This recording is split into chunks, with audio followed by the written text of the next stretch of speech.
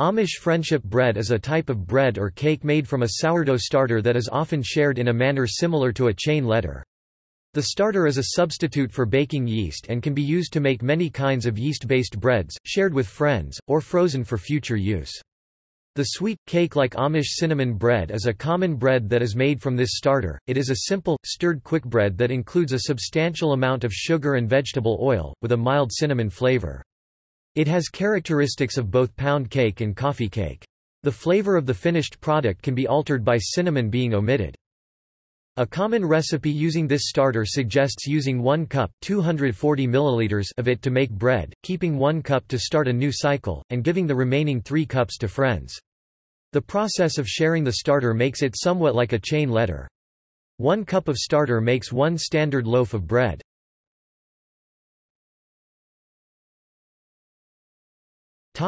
History There is no reason to think that the sweet, cinnamon-flavored bread has any connection to the Amish people, although the name is taken from them. According to Elizabeth Coblentz, a member of the Old Order Amish and the author of the syndicated column, The Amish Cook, true Amish friendship bread is just sourdough bread that is passed around to the sick and needy. The recipe for Amish cinnamon bread may have first been posted to the Internet in 1990, but the recipe itself is several decades old. Although the origin of Amish friendship bread is up for debate, it is similar to a cake called Herman friendship cake which was developed in Europe. Anne Byrn, who researched hundreds of historical recipes for her book American Cake remembers the friendship bread craze popping up in newspaper columns in the late 1980s, but thinks the recipe can be traced back much further.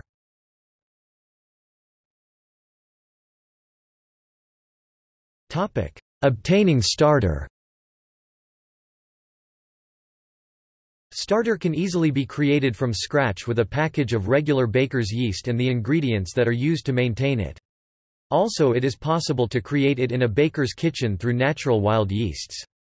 Typically, however, a friend shares a cup of the liquid yeast culture with people who would like to make this bread. The starter is typically maintained by adding sugar, flour and milk every few days, although any source of water and food for the yeast will work. Starter bread is also known as mother bread.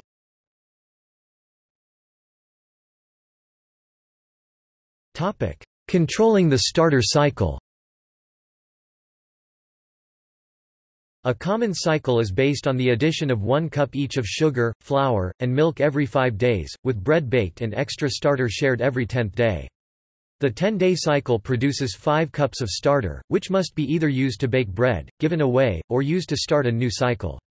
A common suggestion is to bake one loaf of bread, give away 3 cups of starter, and to save the remaining one for the next cycle. It is not necessary to wait the canonical 10 days before using 1 cup of starter, a cup of starter can be used as a yeast substitute at any point. However, using starter on earlier days will result in a smaller quantity of starter at the end of the cycle. To avoid running out of starter, it is normal to feed the starter add milk, sugar, and flour before removing a cup for use, and most recipes assume that starter is always fed immediately before being removed. A five-day baking cycle feeds the starter every fifth day and uses the resulting mixture on that day to bake one or two loaves of bread one cup per loaf. The remaining starter is reserved to begin the next five-day fermentation cycle.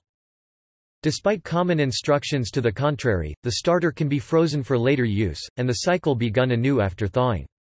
The cycle can also be slowed to about half the normal fermentation rate by refrigerating the starter instead of allowing it to ferment at room temperature. Refrigeration is usually recommended if a few days delay is desired.